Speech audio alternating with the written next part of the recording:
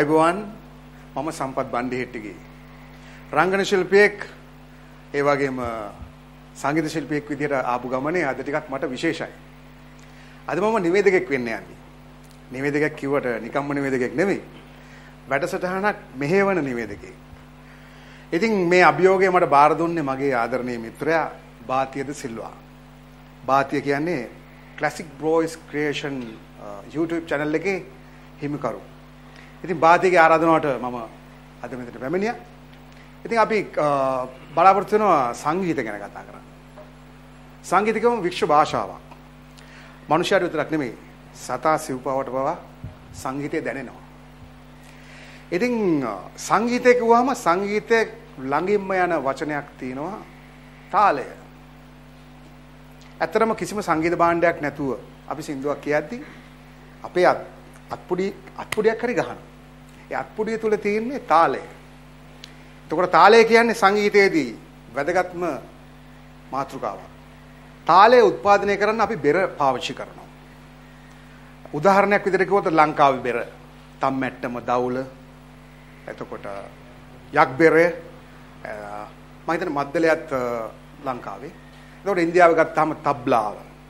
එතකොට මෙරිදංගම්, ගංජිරා, දෝල් එතකොට ලතින් ඇමරිකාව ගත්තොත් කොංගෝ බොංගෝ අප්‍රිකාව ගත්තොත් ජෙම්බේ එතකොට අරාබිය ගත්තොත් දර්බුකා බෙරේ ඔය වගේ. හැබැයි මේ බෙර කොච්චර තිබුණත් එක්තරා විශේෂ බෙරයක් තියෙනවා මේ ලෝකෙම හඳුරන. ඇත්තරම් බෙරයක් කිව්වට ඒක බෙර කට්ටලයක්. අපි තේරෙන භාෂාවෙන් කිව්වොත් ඩ්‍රම් සෙට් එක. සමහරු ඩ්‍රම් කිට් එක කියලාත් කියනවා. ඩ්‍රම් සෙට් එකේ තියෙන විශේෂත්වය තමයි කික් ඩ්‍රම් එකේ තියෙන ලෝ ෆ්‍රීකවෙන්සි එකේ ඉඳලා හයි හැට් එකේ තියෙන හයි ෆ්‍රීකවෙන්සි එක දක්වා ලොකු පරාසයක සංඛ්‍යාත පාවිච්චි වෙනවා.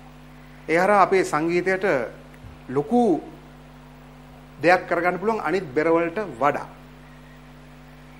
ඉතින් මුලින්ම බිහුනේ ලෝකේ එකෝස්ටික් ඩ්‍රම් සෙට් එක. ඊට පස්සේ කාලයක් ගිහිල්ලා ඉලෙක්ට්‍රොනික ඩ්‍රම් සෙට් එක බිහුණා.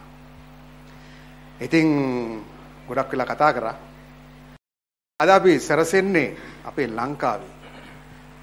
ඉස්සර ඉඳලා ගොඩාක් ඩ්‍රම්ස් වාදකයෝ හිටියා. මේ වෙද්දිත් ගොඩාක් ඩ්‍රම්ස් වාදන ශිල්පීන් ඉන්නවා දක්ෂයෝ. ඉතින් අද අපි ආරාධනා කරලා තියෙනවා පිරිසකට මේගොල්ලෝ ඉලෙක්ට්‍රොනික්ද එකෝස්ටික්ද ඕන ආකාරයක ඩ්‍රම් සෙට් එකක් වාදනය කරන්න දක්ෂයෝ. ඉතින් අපි අඳුරගමු කවුද අපිත් එක්ක අද සහභාගී වෙන්නේ කියලා. මුලින්ම ඉන්නවා අපේ ඩ්‍රම්ස් ජනිත්. අයිවන් ජනිත්.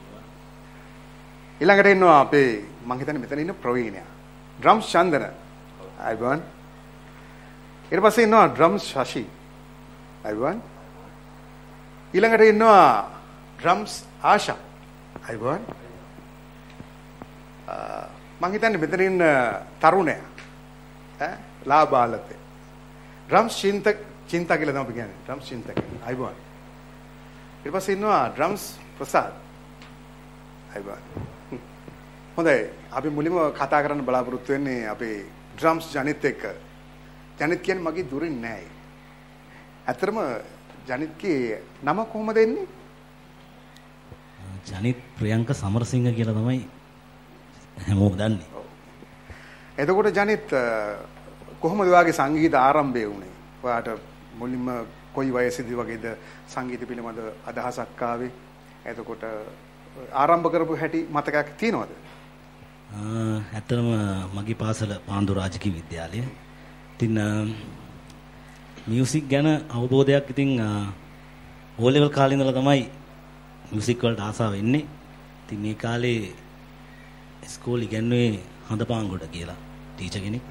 ඉතින් මේ කාලේ තමයි ගායනයට තමයි මුලින්ම මේ ආසාව ඇති වුනේ. ඉතින් ඊට පස්සේ ඔහොම ඇවිල්ලා ඒ ලෙවල් කරාට පස්සේ තමයි සංගීත ශාස්ත්‍රයට මොකද බෑන්ඩ් ගහන්න කියලා ආසාවක් ඇවිල්ලා.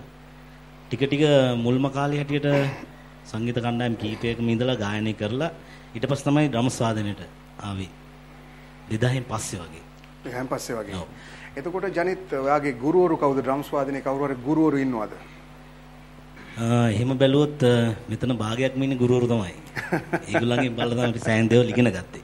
ඒ කාලේ ඉතින් එහෙම අපිට ඉගෙන ගන්න කියලා එහෙම අපිට දෙයක් ක්‍රමයක් තිබුණේ නැහැ. දැන් ඕන තරම් දේවල් තියෙනවනේ. ඉන්ටර්නෙට් තියෙනවා. හැම දෙයක්. ඉතින් ඒ කාලේ ගොඩක් බලලා තමයි දේවල් එකතු කරගත්තේ. ඒක හරියි. හැමෝම ගහන දේවල්. එතකොට ජනිත් මේ වෙද්දී සංගීත කණ්ඩායම් වාදනය කරපු ප්‍රසිද්ධ සංගීත කණ්ඩායම් මුලින්ම පානදුරේ හැටියට කිව්වොත් සංගීත කණ්ඩායම් ගොඩක් තිබ්බා. ඉතින් මුලින්ම සංගීත කණ්ඩායම ගායන ශිල්පියෙක් කරේ බ්‍රේව් ගයිස් කියලා සංගීත කණ්ඩායම හිටියා. ඒතකොට ශාකිරාස් කිව්වම හැමෝම දන්නවා ඒකේ හිටියා. ඉතින් ඩ්‍රම්ස් ගහන්න මුලින්ම බෑන්ඩ් එකට ගියේ ම, කවුරුත් දන්න රොෂාන් හජ්ජිගේ සෝඩියක් බෑන්ඩ් එක. Zodiac band එක. කාලයක්. අවුරුදු මම හිතන්නේ රොෂාන් හජ්ජි මිය ගියාට පස්සේ තමයි ඔබ අවසාන කාලේ අවසාන කාලේ. වෙන්න කලින් කොහොමත් අවුරුදු 3ක් විතර මම වාදනය කරා. ඉතින් ඊට පස්සේ රජීව් ඇන්ඩ් ක්ලෑන් සංගීත කණ්ඩායමේ අවුරුදු 10ක් විතර වාදනය කළා. එතකොට ඔබ සංචාරය කරපු රටවල් එහෙම කොහමද? ඇත්තටම ගොඩක් රටවල් වලට ගියේ රජීව් ඇන්ඩ් ක්ලෑන් සංගීත කණ්ඩායමත් එක්ක යුරෝප් රටවල් වලට ඕස්ට්‍රේලියා, කැනඩා, එතකොට මිඩල් ඊස්ට් රටවල් වලට ඉතින් ගොඩක් රටවල් වලට ගිහිල්ලා තියෙනවා. අවුරුදු 10 ඇතුළත. හොඳයි සතුටුයි. අපි ඊළඟට අපි ඩ්‍රම්ස් චන්දන දිහාට හැරෙමු. චන්දන ඔබගේ කොහොමද ආරම්භය සිද්ධ වුණේ සංගීත සම්බන්ධව? මගේ නම් කියන්නේ මුලින්ම මම ප්ලේ කරේ නෑ drums. සමන්ත කණ්ඩම් කියලා මාතෙන් ආපු පිටිය පානදුරේ ඔව්. එයාගෙන ගොඩක් අය ගෙන. නල්ලුරු හිටියේ. එතකොට මම ප්ලේ කරන්නේ නෑ. කියන්නේ මම ඉස්කෝලේ 8 වසර 9 වසරේදී වගේ එයාගේ සවුන්ඩ් ගෝලෙක් වගේ තමයි වැඩ කරේ. ඔව්. සවුන්ඩ් උස්සනවා එහෙම කරගෙන ඊට. පස්සේ යාමට ඉගෙනුවා සවුන්ඩ් බැලන්සින් සවුන්ඩ් ඔපරේටිං කියන එක. ඊට පස්සේ ඒකත් එක්ක ගොඩක් කල් වැඩ කරා. වැඩ කරගෙන ගමන් පානදුරේ බෑන්සල් මාරියෝ කියන බෑන්ඩ් එකේ එතකොට මාරියෝ. ඕටම් බ්‍රීන්ස් ආ ඔටම් ප්ලීස්. ඒ වගේ ගොඩක් බෑන්ඩ්ස් වල මුලින් ගෑවා. ඩොට් ඇන්ඩ් ඩෑෂ් කියන ආත්මලින්ගේ කීබෝඩ් ගහපු බෑන්ඩ් එකේ සතිය දවස් සතේම කොන්ට්‍රැක්ට් ගහනවා. ඒගොල්ලොත් එක්ක ගොඩක් කාලයක් වැඩ කරා. මගේ මුල්ම මුල්ම වෙස්ටර්න් බෑන්ඩ් එක එතකොට මුල්ම ටුවර් එකක් ගිය බෑන්ඩ් එක මුලින්ම රෙකෝඩින් එකක් ගහපු බෑන්ඩ් එක එහෙම ගහ ඉඳලා තමයි ටික ටික ටික ටික ඊට සවුන්ඩ් වලින් අයින් වුණා. ඔව්. අයින් වෙලා තමයි අනිත් බෑන්ඩ්ස් වල සෙට් වෙලා ඔය වැඩේ කරගෙන යන්න ගත්තේ. ඒවත් අපි නම් ටිකක් කියමු ප්‍රසිද්ධ බෑන්ඩ්. ප්‍රසිද්ධ ද නැද්ද දන්නේ නැහැ කොහොමද ගැහුවා සිටි ක්‍රික් කියලා බෑන්ඩ් ඔව්. 10ක් විතර ගැහුවා. ඩුබායි අපි ඉන්න. හිටියේ. මට මතකයි. ඒගොල්ලොත් එක තමයි ගොඩක් ටුවර් ගියේ. මම එතකොට ඩුබායි වල මම ඩුබායි වල. හිටියේ. ඔව්, අපි දෙන්නා මම තියෙන ප්‍රැක්ටිස් කරන තැනට. ඔව්. එතකොට සිටි ක්‍රීක් ද වර්ක්ෂොප් බොයිස් කියලා තමයි නම දාලා නම තිබුණේ. දාලා තිබුණේ. ඊට පස්සේ අපි ලංකාවට ආවා. ඇවිල්ලා එකක් කියනවා ලංකාවට ඇවිල්ලා මුල්ම මුල්- එතකොට බෑන්ඩ් එකේ ලීඩර් හිටියේ මම. අයිති ප්‍රේම් ජයසිංහ මුල්ම මට ෂෝ එක දුන්නේ ලංකාවේ අපේ ක්ලාසික් බොයි බාතිය. තමයි බේරුවල කානිවල් එකක් දුන්නේ මට. ඒ කානිවල් එකෙන් පස්සේ තමයි අපි සිටි ක්‍රික් කියන එක ලංකාවේ හැදිගෙන හැදිගෙන හැදිගෙන උඩට ආවේ. ඊට පස්සේ ඔක්සිජන් බෑන්ඩ් එක ගැහුවා. හා ඔක්සිජන්. ඔක්සිජන් ගැහුවා. එතකොට ස්පීඩ් නිලංග සිල්ලගේ බෑන්ඩ් එක කාලයක් ගැහුවා. ඔව්. ඒට ඒ ගහන අතරතුරදී මට ආසාව තිබුණේ වෙස්ටර්න් පැත්ත. හ්ම්. නයිට් ක්ලබ්ස් වල ඒවට තමයි ගොඩක් ආසාව තිබුණේ. ඒ බෑන්ඩ්ස් වල ගැහුවා ගොඩක් සොනික් ජර්නි කියලා බෑන්ඩ් එකක ගැහුවා සඳුන්. එයත් එක්ක ගියා South Africa, Zambia, Zimbabwe tour ගියා වෙස්ටර්න් පැත්තට. ඔව්. ඉතින් ගොඩක් ටුවර් පැත්තට කරා. ඒ බෑන්ඩ්ස් වල තමයි ඉතින් ගොඩක් ගහගෙන මම හිතන්නේ සමන්නයි එකවත් කලක් ඔව් ඒක අමතක වුණා කියන්න ඕන. සම ඒ කියන්නේ සමන්නන්ද ක්ලෑන් වල ඉස්සර super clan. Super clan band එකේ තමයි මම ඩ්‍රම්ස් ගෑවේ. බෑන්ඩ් තුනක් තිබුණා තුනක් සියක් තිබුණා. Samananda clan super clan. ඊට පස්සේ සියක් ප්ලේ කරා. සමනන්ද ක්ලෑන් ගහුව ගොඩක් කල්. ඒ ප්ලේ කරන අතරතුරදී මම ප්‍රසාද් එක අපි දෙන්න එකට ප්ලේ කරා. මම ඩ්‍රම්ස් ගහුවා ප්‍රසාද් ඔක්ටපෑඩ් ගැහුවේ. ගොඩක් කල් අපි එහෙම ප්ලේ කරා. කියන්නේ සමන් අයියා ගාවත් ගොඩක් කල් ගැහුවා මම. එතනින් ගොඩාක් ආభాෂයක් ඇත්තා. ඒ කියන්නේ සමන්ත කණ්ඩම්බි වගේම එතනින් තමයි ගොඩාක් ආටිස්ට් බැගින් පැත්ත අර සින්දු මේවා ඔක්කොම හැදුනේ එතනින්. එතන. එතනින් හැදිලා තමයි යන්න ගත්තේ. එතකොට සංචාරය කරපු රටවල් එහෙම කොහොමද? ඉතාලි ඒවා ගියා යුරෝප් පැත්තේ. යුරෝප් පැත්ත ගියා කොරියා එතකොට සීෂෙල්ස් සවුත් අප්‍රිකා සැම්බියා සිම්බාබ්වේ ඒවා ඉන්දියා ඩුබායි නම් ගොඩක් ගියා කුවේට් ඕමන් බහන ඒවා ගල්ෆ් රටවල වලත් ගොඩක් ගියා මම මුල්ම ටුවර් එක මාල්ඩිව්ස් කොන්ට්‍රැක්ට් එකකට ගියා ඩොට් ඇන්ඩ් ඩෑෂ් බෑන්ඩ් එකත් ඒගොල්ලන්ගේ ආත්මය ප්ලේ කරපු බෑන්ඩ්. ඔව් ආත්මය ප්ලේ කරපු බෑන්ඩ් එකේ හොඳයි බොහොම ස්තුතියි. ඊළඟට සුදට සුදේ රවුලක් පවාගෙන ඉන්නවා අපේ හිත මිත්‍රයා ශෂි. ශෂි කිව්වට අපි ඇත්තම ශෂි මොකද්ද නම එන්නේ කොහොමද? ඒක නැත්තම් ආදරයට කියන නමක්ද නැත්තම් නම වෙන එකක්ද කොහොමද? ඒක තමයි නම ආ මුලින් ඉඳලා අගටම ඕනේද? පොඩ්ඩක් කියන්නකෝ කැමති නම්. මුතුම එකක් තියෙන්නේ. ඔව්.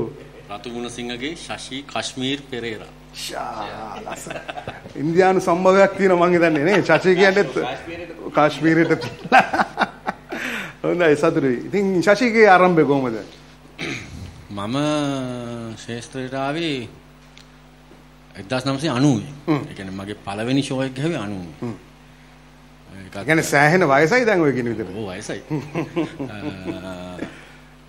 ගායක ගායිකාව 21ක ෂෝ එකක් තමයි ඉස්සලම මේ 21කින් පටන් අරන් ඔව් තියෙන්නේ. ප්ලේ කරන්න පටන් ගත්තේ. එදා ඒක සාර්ථකයි ගොඩක්. ඊට පස්සේ ඒ බෑන්ඩ් එකේ නම අපේ ගමේ කට්ටියක් එකතු වෙලා හැදුවේ ඩේන්ජර් කියලා. දැන් තමයි ඩේන්ජර් පෙනුම ඇවිල්ලා තින්නේ ඇත්තටම. ඒ හිටිය මේ භයානක කට්ටිය හිටියේ. ඊට පස්සේ ඒකේ ඒ ඒ කණ්ඩායමේ හිටියා 96 විතර නිකන්. ඊට පස්සේ යාත්‍රා සංගීත කණ්ඩායමට ආරාධනාවක් ආවා මට. ඒක එතකොට මදුමාදව ග්‍රේෂන් ජයමහා දෙන්නම එකතු වෙලා කරේ. ඒකේ ප්ලේ කරා ඊට පස්සේ මදු අයින් වෙලා ග්‍රේෂන් ජයමහා විතරක් බෑන්ඩ් එක කරා. ඒකේ හිටියා මම 99 විතර. ඔව්. ඊට බෑන්ඩ් එක නැවතුණා. නැවත්තන තැනට වැඩි කටයුතු යෙදුණා. යෙදුණා. ඊට පස්සේ ඒ ඉන්නකොට තමයි ප්‍රොමිසස් කියන ප්‍රොමිසස්. සංගීත කණ්ඩායම මට කතා කරලා අපි ඒ දවස්වල බැනුම් අහපු සංගීත කණ්ඩායමක් පොඩක් නේද? ගෑනු හඬින් ගීත ගායනා කරනවා කියලා. ඔව් නඩුත් තිබුණා සෑහෙන්න. හැබැයි ඉතින් ලොකු ඉල්ලුමක් තිබුණා සංගීත කණ්ඩායම. ඔව්. ගොඩක් ජනප්‍රියයි මට මතකයි. ඒක එතනින් හිටියා මම 2002 වෙනකම්. දෙක වෙනකම් හිටියා මේ පොඩි පොඩි එක ප්‍රශ්න තියෙනවානේ. කොහොමද සංගීත කණ්ඩායම කියන ප්‍රශ්න ගොඩක් නේ අනිවාර්යෙන්. ඒ ඉඳලා සයිප්‍රස් අන්තිම ෂෝ එක ගෙවි හි. හ්ම්. ඒක ගහලා ඇවිල්ලා මං අයින් වුණා. ඊට පස්සේ සන්සියක් කියලා බෑන්ඩ් එක ගැහුවා. ඊට පස්සේ ආපහු මෙගා ෆ්ලෑෂ් මොරටුව හ්ම්. එහෙ ගැහුවා. වෙන්න මාරියෝ කියලා බෑන්ඩ් එක ගැහුවා. වෙන්න පුමාරියෝ. ආ. ඊට පස්සේ යූත් ෆැන්ටසි ගැහුවා අතුල අධිකාරිකේ. අතුලාධිකාරී. ඒ කියන්නේ තරුණ සේව සභාවෙන් ඔව්. ඒක ඇහුවා ඒ වගේ තව ගොඩාක් බෑන්ඩ්ස් තියෙනවා. මට මතකයි පානදුර ශ්‍රී කියලා බෑන්ඩ් ඔව්. වාදනය කරානේ. ඔබතුමාත් හිටියනේ ඒක. ඒක මං හිතන්නේ 2006 7 විතර. ආ, ඒ වගේ මටත් හරියට මතක නැහැ. ඊට පස්සේ තමයි මම ඒකෙන් පස්සේ මම ගියේ අපේ දිනේෂ් සුබසිංහ DRC members. ඒකේ මං ප්ලේ කරා. මං හිතන්නේ මට පස්සේ තමයි මෙතුමා ප්ලේ කරේ. ඒ- කියන්නේ ප්‍රවීණයි වගේ චන්දනට වඩා නේද? ඈ? දන්නේ නැහැ කොහොමද කියලා. ඊට පස්සේ ෂාන්විත් සුපර්ස්ටාර්ස් ශානිත්. සුපර්ස්ටාර්ස්. ඒ වගේ ඉතින් ගොඩක් දැන් මේ වෙනකොට ගොඩක් බෑන්ඩ්ස් පහු කරගෙන ඇවිල්ලා තියෙනවා. ඊට ආපහු අතුල අධිකාරිකම AO2 එකේ ප්ලේ කරා. රජු ඇන්ද ක්ලෑන් ප්ලේ කරා. සමන් ඇන්ද ක්ලෑන් පර්මනන්ට් වාදකයෙක් විදිහට නෙමෙයි. නමුත් සමන් අයියා මට ගොඩක් වැඩවල යන ගහුවා මම ගිහිල්ලා ඒ කියන්නේ ඇහින්දාස්. අහින්ද. ඈ ඒකනේ වචනේ නේද? නෑ දැන් දැන් කොහොමත් මේ මේ මම සහ මේ ගොඩක් අපේ වාදකයෝ ඉන්නවා මේ නිදහස් වාදකයෝනේ. ෆ්‍රීලාන්ස් මියුසිෂන්. එතකොට අපිට කවුද මුලින්ම කතා කරන්නේ? අපේ ඒ මුදල් ඒ අපි අය කරන මුදල හරියට ඒ ගාපේ ගානට එනවා නම් අපි ගිහිල්ලා ඒක ඒක. වාදනේ සපයලා එනවා. ඒක කිසි ප්‍රශ්නයක් නැහැ. අපි නිදහස් වාදකයෝනේ. අනිවාර්යයෙන්. ඔව් ඒක තමයි. ඒක හරි. එතකොට ඔබේ ගුරුවරු ගැන ඩ්‍රම්ස් ගුරුවරු ගැන ගුරුවරු කියලා මෙහෙම අහවලාගෙන් කියලා ඉගෙනගෙන නැහැ. ඉගෙන අපි දැන් මේ ජනිත් කිව්වා වගේ අපි බලලා තමයි මේව කරේ. හැබැයි මම ගොඩක් පස්සෙන් එළවගෙනම නිකන් දේවත්වයෙන් සැලකුවා ලූෂන් අල්හපෝන් කියන. ගුරුතුමා. ආ අපේ ප්‍රවීණෙක්. මම හිතන්නේ සන්ෆ්ලවර් සංගීත කණ්ඩායමේ මුල්ම ඩ්‍රම්ස් වාදන ශිල්පියා තමයි රෝෂන් අලා. මුල්ම ඩ්‍රම්ස් වාදකයා එතුමාගේ ඒ කියන්නේ ෂෝ එකක් ප්ලේ කරද්දි තිබුණා වෙන ඒක ෂෝ එකක් එයාගේ. වෙනම ෂෝ එකක් එයාගේ ඒ ලූෂන් අලහපෝන් මහින්ද සිල්වා ඒ වගේ ඉතින් අපි අපි අපි පටන් ගත්ත කාලේ අපිට දකින්න ඉන්නේ ඒගොල්ලෝනේ. ඔව් ඒක හරි. ඒ ඒ පස්සේ තමයි අපි එන්නේ ඒක පස්සේ එලෝගෙන. හැබැයි ඒ කාලේ ඒක හොඳ ආදර්ශයක් වුණා මං හිතන්නේ. මහින්ද සිල්වා ලූෂණ ලකුන් ඔව්. මේ වගේ ඩ්‍රම්ස් වාදන ශිල්පීන් මට මතක හැටියට ඔක්ටපෑඩුත් එච්චර පාවිච්චි වුණේ නැහැ ඒ කාලේ. ඒක ඒ කාලේ මට මතකයි අර රෝටොස් පැත්තකින් තියාගෙන ඒවෙන් තමයි තබ්ලා බීට්ස් එහෙම වාදනය කරේ. ඔව් ඒ කාලේ ඉතින් ඔක්ටෝපෑඩ් 90 වගේ 90 වගේ කාලේ අර පෑඩ් 8 එක තිබුණේ. පෑඩ් 8 එක. ඒක තියෙන්නේ මේ මේ පැචස් හතරයි. ආ. ABCD කියලා. එතකොටත් ඒක වාදනය කරන්න ලොකු එහෙම මේ මේ මේ ප්‍රවීණ කියන මේ අර පළපුරුදු කට්ටිය හිටියේ නෑ. ඔය නිකන් ඉන්ක්ලූඩ් එක ඇවිල්ලා පොඩ්ඩක් ටොක් ටොක් ගාලා ගහලා මට මතකයි සන්ෆ්ලවර්ස්. කණ්ඩායමෙත් එහෙමනේ. ඉතින් ගොඩක්ම- නෙල්සන් අයියා ඇවිල්ලා පොඩ්ඩක් තට්ටුවක් දාලා යනවා. ගොඩක්ම ඉතින් අර රොටෝටොම්ස් වලින් තමයි මේ අර තබ්ලා වලින් යන බීට්ස් නම් නම් ඒවා ගොඩක්ම මේ පාවිච්චි කරේ රෝටොස් වලින්. එතකොට ඔබ සංචාරය කරපු රටවල් කොහොමද? රටවල් කියන්නේ කොරියාව එතකොට මොනවාද මැද පෙරදිග ඒ වගේ මං හිතන්නේ මගේ පළවෙනි ටුවර් එක ගියේ ම්, 96 මාලදිවයිනේ ඒකත් අපේ මේ සිංහල කට්ටියට ෂෝ එකකට නෙමෙයි ගියේ මාලදිවයිනේ නිදහස් උත්සවයට එහෙ ඉන්න ගායක ගායිකාවන්ට සංගීත සපයන්න ගියේ සින්දු 48ක්ද කොහෙද දුන්නා. ඒ කියන්නේ මාරියම් වහීඩා කියලා එහෙ හිටපු ප්‍රසිද්ධම ගායිකාව ඒ කාලේ. ඔව්. එයා තමයි අපි එක්කන් ගියේ. ඒ ෂෝ හතරක්ද කොහෙද ගහුවා. ඊට පස්සේ නම් මාලදිවින නිකන් කොළඹට ගිහිල්ලා එනවා වගේ ගියා. ගිහිල්ලා ඒගොල්ලන්ගේ මේ රෙකෝඩින්ග්ස් උත් ගහුවා. මමයි ජයසිරි අමරසේකරයි. ජයසිරි අමරසේකර. අපි දෙන්න එක එකට තමයි ගොඩක් ඒ 90 ගණන් වල එකටම තමයි අපි දෙන්න හිටියේ. මේ මම ජයසිරි අමරසේකර මාලන් ෆර්නෑන්ඩෝ මාලන් ෆ්‍රෙන්ඩ් අපි බේස් මාලන්. අපි දුන්දෙනා එකටම තමයි හිටියේ. ඊට පස්සේ ඒ වගේ ඉතින් රටවල් මං හිතන්නේ මේ වෙනකොට මං ටුවර් 24ක්ද කොහෙද ගිහිල්ලා තියෙනවා. සතුටුයි. බොහොම ස්තුතියි. හොඳයි අපි දැන් මේ පැත්තට හැරෙන්නයි සූදානම් වෙන්නේ. මම හිතන්නේ මට අඩුවෙන්ම ආශ්‍රය කරන්න ලැබිච්ච සංගීත ශිල්පියා වෙන්න ඕනේ නම අහලා තිබුණාට ගොඩක් ආශ්‍රය කරන්න ලැබිලා නැහැ. ඩ්‍රම්ස් ආශා කිව්වම තමයි දන්නේ. ඔව් සම්පූර්ණ නම කොහොමද දෙන්නේ ආශා? ප්‍රමෝද් අසංග මගේ නම. ඔව් හැබැයි ඉතින් මාව ශේෂ්ත්‍රය දන්නේ ආශා කියලා කිව්වම තමයි. ආශා කියලා කිව්වම. එතකොට ආශා කොහොමද ආරම්භය සිද්ධ වුණේ ඔයාගේ? මම 98 විතර වගේ තමයි මේ ශේෂ්ත්‍රයට ආවේ. එතකොට මම මුලින්ම 94 විතර ඔක්ටපෑඩ් ගහුව බෑන්ඩ් එකේ. ඊට පස්සේ මම ඩ්‍රම්ස් ගන්න ඉගෙන ගත්තේ බෑන්ඩ් එකේ ඩ්‍රම්ස් ගන්න ගහපු වාදකයන් තමයි මම ඩ්‍රම්ස් ගන්න ඉගෙන ගත්තේ මේ ප්‍රදීප් අපොන්ස කියලා මගේ යාළුවෙක්. ඊට පස්සේ චන්දන මගේ ක්ලාස්මේට්. අපි දෙන්න මම චන්දනව හම්බෙලා ඉතින් මම දැන් මෙයා මියුසික් කරනවා කියලා මම දන්නවනේ. ඔව්. මං චන්දනක ගිහිල්ලා ඉතින් මං චන්දනකෙන් ඉගෙන ගත්තා ඊට පස්සේ. ඊට පස්සේ තමයි ශේෂ්ත්‍රයට ආවේ. ඊට පස්සේ මම සෑහෙන බෑන්ඩ්ස් වල ගැහුවා. අර චන්දන ගැහුවා වගේ මමත් සමන්නය ගාව හිටියා. ওই බෑන්ඩ්ස් උනේ මමත් ගැහුවා. සියක් සමානන්ද ක්ලෑන් සුපර්. ක්ලෑන්. ඔව්. එතකොට ඊට පස්සේ මම ජයල බෑන්ඩ් එක ප්ලේ කරා ග්‍රේෂන් ජයමායි අන්ඩ්‍රෝනසි බෑන්ඩ් එක කරේ. එතකොට ඒ බෑන්ඩ් එකෙත් මම කාලයක් ගැහුවා. ඔව්. ඊට පස්සේ ආයිමත් මම මේ එහෙන් ආවා ආයිමත් මේ කොළඹ බෑන්ඩ් එකට. ඊට පස්සේ මම Keerthi super super fortunes super fortunes. එව්වා ඊට පස්සේ දැන් ඇනස්ටේ මහලගේ බෑන්ඩ් එකේ සුපර් චයිම්ස් දැන් ප්ලේ කරනවා. Super chimes. එතකොට ගුරුවරු එහෙම කොහොමද ඔබගේ ඩ්‍රම්ස් වාදනය පිළිබඳව ඔව් මම ඉස්සර කිව්වේ මගේ මුල්ම ගුරුවරයා මේ ප්‍රදීප් අපොන්සු. ආපොන්සු. ආ. ඊට පස්සේ චන්දන පෙරේරා.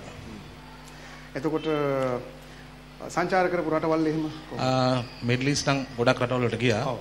ඕස්ට්‍රේලියා, හොංකොං ඒ වගේ රටවලට මම ගිහලා තියෙනවා. හ්ම්. හොඳයි. හොඳයි. ඊළඟට අපි යමු වෙනවා මෙතන ඉන්න තරුණයා. ලාබාල ලාබාලතමයා. එතකොට මෙයාගේ මෙයාත් එක්ක කතා කරන්න කලින් මෙයාගේ විශේෂ වීඩියෝ එකක් තියෙනවා. කොරෝනා සමයේදී කරපු එක්තරා හෝම් මේඩ් වීඩියෝ එකක් අපි ඒක බලලා කතා කරමු.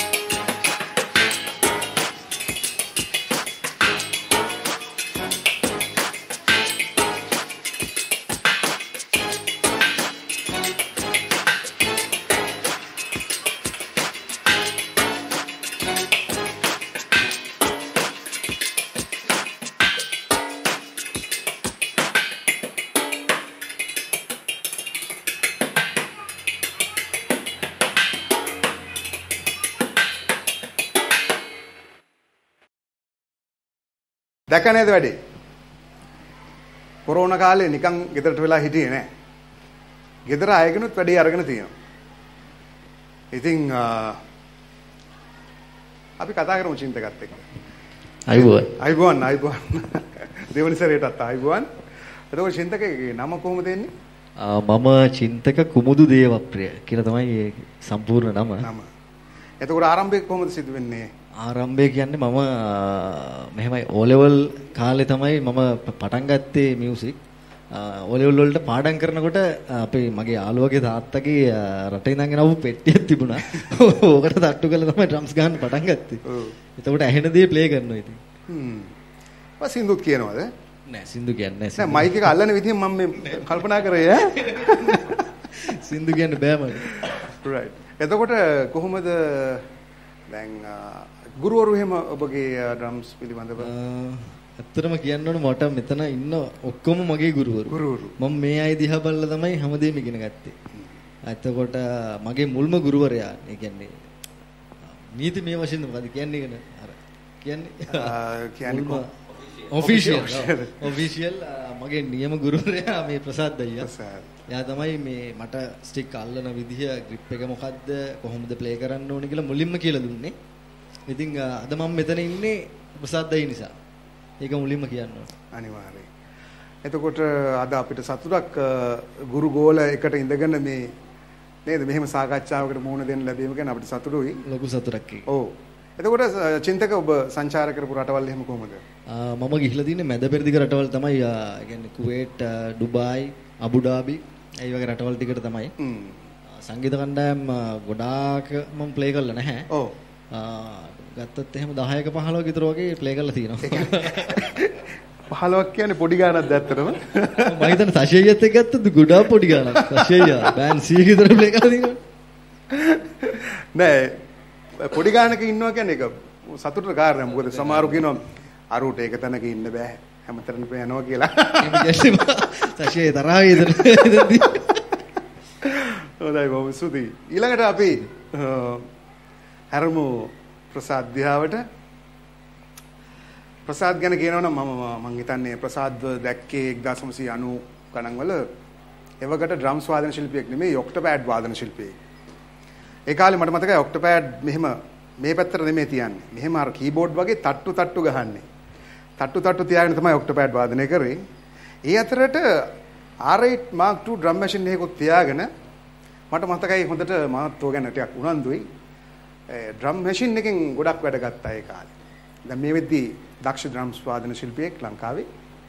ඉතින් ප්‍රසාද් කොහමද නම ඔයාගේ? මගේ නම ලක්මල් ප්‍රසාද් වීරසිරි සම්පූර්ණ නම එන්නේ. ඒත් ඉස්කෝලේදී කිව්වේ ලක්මල් කියලා. රත්මල්. ලක්මල්. ඉස්කෝලේ යාළුවා දැන් ලක්මල් කියලා. ඊට පස්සේ බෑන්ඩ් ෆීල්ඩ් එකේ තමයි ප්‍රසාද් ප්‍රසාද් කියලා කියන්නේ. හැබැයි මං හිතන්නේ ඔය ඔයාගේ සහෝදර තුන්දෙනාටම ඔය ප්‍රසාද් කෑල්ල තියෙනව නේද? ඔව් ඒක තුන්දෙනාට පොදුයි. පොදු සාධකයක් තියෙනවා ප්‍රසාද්. එතකොට ප්‍රසාද් කොහමද ඔයාගේ ආරම්භය කොහමද? ආරම්භය වුණේ මගේ ලොකු අයියා කීබෝඩිස්. ඔව්. පොඩේ රම ඔව්. චනුර. ඔව්. ඉතින් ඒගොල්ලෝ බෑන්ඩ් එකක් පටන් ගත්තා. ඒ ඒ බෑන්ඩ් එකේ ඔක්ටපෑඩ් ගහන්නේ වෙන එක්කෙනෙක්. හැබැයි ඒගොල්ලෝ ප්‍රැක්ටිස් කරනදී මම හැමදාම ඉන්නවා ප්‍රැක්ටිස් එකේ. ඒකෙදි බේස් ගහන්නේ කොහොමද? ඩ්‍රම්ස් ගහන්නේ කොහොමද? ඔක්කොම ටික මම ටච් කරනවා. නිකන් බලන් ඉන්නවා ඉතින්. පස්සේ ඒගොල්ලන්ගේ ෂෝ එකකුත් තිබ්බ කට්ටිය එක හොයලා ඒ ඒගොල්ලෝ තරුණ පොඩි කාලේ ඉතින් ෂෝ එකේදී ඔක්ටපෑඩ් ගහන්නේ වෙන කෙනෙක්. ඔව්. පස්සේ ෂෝ එක ඔන්න මෙන්න තියෙද්දි එයා බෑ කියලා ප්ලේ කරන්නේ. එයාට එයාට බය හිතිලා. පස්සේ පොඩේ මට ඇවිල්ලා දැන් මේ යන් ඔක්ටපෑඩ් ගහන්න කියලා. ඔව්. පස්සේ ඔක්ටපෑඩ් ගහන්නේදී මට පුළුවන් වැඩේ. ඉතින් මොකොත් අත්දැකීමක් නැහැ. ගිහිල්ලා ඉතින් ඔක්ටපෑඩේ කොටු ටිකට ටෝන්ස් එකක් දාගන්න බෑ. ඔව්. ඉතින් අත් දෙක එහෙට මෙහෙට අඹරගෙන ඉතින් තමයි ගැහුවේ. ඒකේ කීබෝඩ් ගැහුවේ නිලංකයියා. අද ශබ්ද පරිපාලනය කරනවා. ශබ්ද පරිපාලනය කරන. එතකොට Summer Dreams කියන බෑන්ඩ් එකේ එතනින් තමයි පටන් ගත්තේ. ඊට පස්සේ ඉතින් එහෙම ඔක්ටපෑඩිස්ම වුණා. ඒ කියන්නේ පොඩි අය ඩ්‍රම්ස් ගැහුවා, ලොකු අය කීබෝඩ් ගැහුවා, මම ඔක්ටපෑඩ් ගැහුවා. එතකොට ගුරුවරු එහෙම ඉන්නවද විශේෂ වාගේ? ගුරුවරු මුලින්ම පොඩි අයියා පොඩි එකෙන් නම කියමු. චෙනුර ප්‍රසාද් වීරසිරි. එයාගෙන් තමයි ඉගෙන ගත්තේ. ඊට පස්සේ ලොකු අයත් ඉගෙනුවා රවීන්ද්‍ර ප්‍රසාද් වීරසිරි. ඊට පස්සේ ඒ කාලේ අපේ ලොකු අයගේ බෑන්ඩ් එකේ ප්ලේ කරේ ශ්‍රීකාන්ත දසනායක ඩ්‍රම්ස් ප්ලේ කරේ. ශ්‍රීකාන්ත දසන. ශ්‍රීකාන්ත අපේ, දසන. අ, පරණ ඩ්‍රම්ස් වාදන ශිල්පී. ප්‍රවීණේ. ඔව් මම ගොඩක් පොඩි. පස්සේ ඉතින් මම ශ්‍රීකාන්තය එනකන් මම තමයි ඒගොල්ලන්ට ගයිඩ් එකට ඩ්‍රම්ස් ගහන්නේ. ඉතින් මේ පස්සේ ශ්‍රීකාන්තේ දවස් දැකලා මාව පස්සේ කියලා දුන්නා. එයා ඊට පස්සේ හැමදාම ප්‍රැක්ටිස් වෙන හැමදාම කියලා දෙනවා මට මේ මෙහෙම ෆුට් වර්ක්ස් එහෙම කී කිය ඉතින් කියලා දෙනවා. ඊට පස්සේ එහෙම ගිහිල්ලා ඊට පස්සේ මම දැන් මෙතන ඇත්තටම විශේෂයි මට. මොකද මම මේ චන්දන අයියා එක්කයි මේ ආශා එක්කයි දෙන්න එක්කම මම ඔක්ටෝපෑරිස්. හා. ඉතින් ඒ දෙන්න කෙනුත් මම ඉගෙනගෙන තියෙනවා. ඒ කියන්නේ ඒ දෙන්නත් එක්කම මම ප්ලේ කරන පස්සේ ඒ කියන්නේ චන්දන අයියා ප්ලේ කරන ඒවත් මම අහලා ඒකෙත් ඉගෙන දෙනවා ආශය ප්ලේ කරලා ඒකෙත් ඉගෙන දෙනවා. ඊට පස්සේ විශේෂම ගත්තම පාන්දුරේ මිලාන් ඒ කියන්නේ මිලාන් ඇතම ඩ්‍රම්ස් ඉගෙනුවේ නැහැ. නමුත් ඒ කියන්නේ මියුසික් ෆීල්ඩ් එකේ අපි නොදකපු දේවල් ටික ඒ කියන්නේ අපි කතා බහ කරද්දී අපි ඇසුරු කරද්දී මිලාන්ගෙන් මාර දේවල් ටික මම ගත්තා. මිලාන් ගැන පොඩ්ඩක් විස්තර කරමු නම. ඔව් මිලාන් කියන්නේ අතන මේරියන්ස් බෑන්ඩ් එකේ දැන් ශබ්ද ප- පටිපාලක විදිහට තමයි ඉන්නේ. පානදුර සුමීග ස්ටුඩියෝ එකේ සවුන්ඩ් ඉංජිනේර්. කමල් අද්දරාජගේ කම- කමල් අද්දරාජේ මාමා. මාමා. ඔව්. මාමා වෙන්නේ. මාමා වෙන්නේ. මිලාන් මාමා කමල්ලාට දාලා කමල් අද්දරාජේ මිලාන්ගේ මාමා. ඕනංගිගේ පුතා. ඉතින් මේ මිලාන් එක්ක අපි ලොකු ඇස- ඇසුරක් තිබ්බ ක්ලාසික් බොයිස් බෑන්ඩ් එකම. ඉතින් අපි හැමදාම රෙකෝඩින් ගහන්න යනවා. ඉතින් බෑන්ඩ් එකේ ගියාම මේ මිලාන් එකේ අපි කතා බහ ගන්නවා. ඉතින් මිලාන් ගොඩක් දේවල් දන්නවා. දන්නවා සහ එයා අන්තර්ජාලය ඔය ද- ඔය ජංජාල ඔක්කොම ටික එයා දන්නවා. තාක්ෂණේ. ඉතින් ඒවත් එක්ක අපි කතා බහ කරලා ඉතින් මම නොදන්න දේවල් ගොඩක් එයා ඉගෙන ගත්තා. ඉතින් ඊට පස්සේ විශේෂයෙන් මතක් කරන්න ඕනි දැන් දැන් දැන්ට මම ඉගෙන ගන්න මම තාම ඉගෙන ගන්නවා. දැන්ට ඉගෙන ගන්නේ ඉතින් අරුණ සිරවර්ධන සර්ගෙන් විශේෂයෙන් මතක් කරන්න. ඕනි. ඔව්. ඒක අතිශය ප්‍රවීණේ. අරුණ සිරවර්ධන කියන්න ඕන. මමත් කාලයක් ගියා කියන්නේ මට යන්න වාසනාව හම්බුනේ මම අවුරුදු 10ක් විතර ලිස්ට් එකේ හිටියා. ගත්තේම නෑ. මම ඉලෙක්ට්‍රොනික ගහ හිටියේ. ඔව්. ඊස්සේ මම ඕබ්‍රිගේ හීට් කියන බෑන්ඩ් එකට මාව ගත්තා. ගත්තට පස්සේ ඕබ්‍රි තමයි කතා කරලා අරුණ සර්ට කිව්වේ මේ මගේ ඩ්‍රම කෙනෙක් ගත්තා. මෙයාට පොඩ්ඩක් උගන්වන්න කියලා. කෝල් කරලා කියපු ගමන් කිව්වා හෙට උදේ ක්ලාස් එකට. මම අවුරුදු 10ක් විතර ඉඳලා ඉඳලා ඉඳලා ඉඳලා මාව ගත්තේම නෑ. මම දන්නේ මගේ අවාසනාව. ඊපස්සේ එතනට මම ටික කාලෙක ගියා මායි අපේ ශමිල ඩ්‍රම ශමිලයි දංගමුව. දංගමුව. ආ. දංගමුව අපි තුන් දෙනා එකට ගියේ ක්ලාස් එකට. සංකල්ප වාදනය කරන ඔව් දංගමුව. දංගමුව. අපි තුන් දෙනා ගියේ. ඒතකොට ජිප්සි ස්ටුඩියෝ එකට තමයි ගොඩක් වෙලාට මම සෙට් වෙන්නේ මායි ශමිලා තමයි එකට ප්‍රැක්ටිස් කරේ. ඔව්. ඒකෙන් ගොඩාක් දේවල් ඉගෙන ගත්තා. දැන් දැන් ප්‍රසාද් යනවා යනවා ප්‍රසාද් පුතත් හොඳටම ප්ලේ කරනවා ඩ්‍රම්ස්. වීඩියෝ දකින්න අපි එතනට එනවා. දැන්ට එන්න ඕන. විශේෂයෙන් ඇත්තම සන්තෝෂයි මොකද මේ පානදුරේ ඔක්කොම අපි ඩ්‍රම්ස්ලා. හ්ම්. මේ පානදුරේ ඉන්න අය. දැන්ට ලංකාවේ ගොඩක් ලොකු බෑන්ඩ්ස් වල පානදුරෙන් තමයි ප්ලේස්ලා ඒ පැත්තට ගිහිල්ලා. එතනටත් එන්න හිතාගෙන ඉන්නවා අපි. පස්සේ කතා කරමු. එහෙනම් ටිකක් කතා කරමු. හොඳයි. තව ඔබගේ තවත් ගුරුවරු ඉන්නවද දැනට? එහෙම ගත්තම ඉතින් හැමෝම ගුරුවරු තමයි. මොකෝ. හැම කෙනාගේම මම ඒගොල්ලන්ගේ හොඳ දේවල් ටික ඉගෙන ගන්නවා. ඒ එතෙන්දි ගත්තම මේ විශේෂයෙන්ම චන්දනයගෙන් ආශයෙන් මම ගොඩක් දේවල් ඉගෙනගෙන දෙනවා. ඒ කියන්නේ මම ඒගොල්ලොත් එක්ක පර්කෂන් මම ඔක්ටෝපෑඩිස් විතර ප්ලේ කරද්දී මම ඒගොල්ලන්ගේ දේවල් ගොඩක් ගත්තා. ඉතින් ඒක ඊට පස්සේ ඉතින් දැන් දැන් පොඩි ළමයෙක් ප්ලේ කරත් මම ඉගෙන ගන්නවා.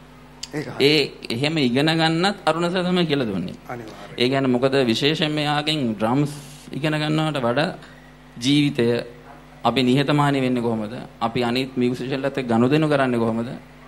ඉතින් ඔන්න ඔය දේවල් ගොඩක් ඉගෙන ගන්නවා. ඒ කියන්නේ මම හිතන්නේ අරුණ සර්ගේ ගෝලියව තමයි සුභාෂ් චන්දන අයියා. එතකොට ශම්- ශමිල ඩැඩි ශමිල සුභාෂ් කියන්නේ සුභාෂ් චන්ද්‍රසෝම. සුභාෂ් කියන්නේ පුන්නිසෝම. පුන්නිසෝම. ආ, ඒ කියන්නේ මේරියන්ස් ඩ්‍රම. එතකොට ඩැඩි ඩ්‍රම ශමිල. එතකොට ඩෙනිස් මිස්ටි බෑන්ඩ් එකේ ඩ්‍රම. එ- එතකොට හේ ආ එතකොට හර්ෂාන් ගාල්ලගේ ආ එතකොට ආ- ආශා ඉතින් ඒගොල්ලන්ගෙන් මේ සන් සනිදප ප්‍රසංග ප්‍රසංග. ඒ ගෝලියෝ ගොඩයි නේද බලනකොට? ඔව් සර් සර් ළඟ ඒ කියන්නේ විශේෂයෙන්ම මේ හැමෝම ඒ අප- ඉගෙන ගන්නේ ඒ කියන්නේ ඩ්‍රම්ස් වලට වඩා උගන්වන්නේ ඒ කියන්නේ අපි ඩ්‍රම්ස් ගහන්න ඉගෙන ගන්නවට වඩා සර් කියන්නේ පුතා ජීවත් වෙන්න ඉගෙන ගන්න. ඉතින් ඉතින් මම ඒ ඒ සර්ව ඇසුර ගන්න පටන් ගත්තට පස්සේ හැම කෙනාගෙන්ම මම ඉගෙන ගන්නවා. කාගෙන්වත් නොගත යුතු කියලා දෙන්නේ හැම දෙයක්ම කෙනෙක්ගෙන්ම මම ඉගෙන ගන්නවා. ඔව්. මමත් වාසනාවන්ත වුණා එක සැරයක් එතුමාගේ පර්ෆෝමන්ස් එකක් බලන්න. ඔහොම තමයි ඩ්‍රම් සෙට් එක ඔක්කොම හයි කරලා මෑ කරලා ගලවගෙන යන්නෙත් එයාම තමයි කෑල්ලෙන් කෑල්ල. බොහොම නිහතමානී සහ මං හිතන්නේ පියානෝ වාදනයටත් දක්ෂයි. බොහොම දක්ෂයි. ඔව් මම දැක්කා පියානොත් වාදනය කරා ඒ ප්‍රසංගයේදී. හරි දක්ෂෙක් අ, සතුටුයි අ, මං හිතන්නේ ගොඩක් සාමාන්‍ය ජනතාව දන්නේ නැහැ යා දන්නේ ගැන. නැහැ ඔව්. මොකද ලංකාවේ අය දන්නේ ලංකාවේ සංගීත කණ්ඩායම වාදනය කරොත් තමයි එයා තමයි වාදකයා කියලා හිතන්නේ. නමුත් ඊට පරිබාහිරව දක්ෂයෝ ගොඩක් ඉන්නවා ලංකාවේ. නමුත් අපි සාමාන්‍ය සමාජය දන්නේ. ඒ වගේ කෙනෙක් තමයි නම අරුණ සිරිවර්ධන. අරුණ සිරිවර්ධන. එතකොට ප්‍රසාද් වාදනය කරපු සංගීත කණ්ඩායම ගැන පොඩ්ඩක් අපිට කිව්වොත්. මම ඇත්තම බොහොම පොඩි සංගීත කණ්ඩායම සංඛ්‍යාව තමයි ඒ කියන්නේ වැඩි පැනලා නෑ ඔයා. නෑ. මම මුලින්ම ඒ කියන්නේ අර මුල්ම බෑන්ඩ් එක පොඩි එලෙක්කන් ගියේ මගේ දිහා බලන්න එපාලු. ඒ කියන්නේ පොඩි අයියා නිලංක අයියා කට්ටියත් එක්ක සමර් ඩ්‍රීම්ස් බෑන්ඩ් එකේ ප්ලේ කරා.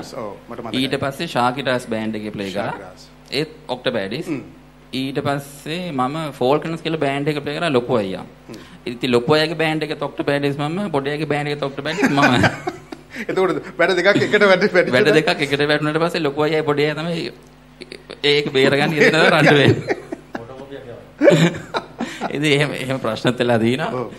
මේ ඊට පස්සේ ඊට මම ඔක්ටෝබෑඩ් ප්ලේ කරා. ඊට පස්සේ සමානන්ද ඉස්සලම ගිය සියක් බෑන්ඩ් එකට. සියක් බෑන්ඩ් එකේ චන්දනයත් එක්ක ආශයත් එක්ක. ඊට පස්සේ රෝහණ ජයසිංහ ඊට පස්සේ විශේෂයෙන්ම මතක් කරන්න මැෂිමා කියලා අපි කියන්නේ ඉන්දික අයියා. ඉන්දික. ඒ ඒ අයත් ඒතොර ජගත් එක්ක මම ප්ලේ කරා. මම- කුලසිංහ. ඔව් මම ප්ලේ කරා. කියන්නේ ඔක්ටෝබර් ඉදිරියට ඊට පස්සේ අවුරුදු 5ක් විතර මම ගන්න ප්ලේ කරා. ඊට පස්සේ බෑන්ඩ් එකෙන් අයින් වුණා. අයින් වුණාට පස්සේ අපි බාතියගේ බෑන්ඩ් එකේ බාතිය කතා කරා හැබැයි ඇත්ත- ඇත්තටම මම ඒ බෑන්ඩ් එකේ හිටියේ ඩ්‍රම්ස් ගහන නෙමෙයි. කීබෝඩ් ගහන හිටියේ. පස්සේ බෑන්ඩ් එකේ වෙන කලමනාකරණයේ මොකකට ප්‍රශ්න කළා බාතියෙන් දැන් කොහොම අනේ කීබෝඩ් ගහන්න එපා බා ඩ්‍රම්ස් ගහපන් කියලා. ඒ ඇත්තටම බාතිය තමයි ඩ්‍රම්ස් වලට හැරෙව්වේ.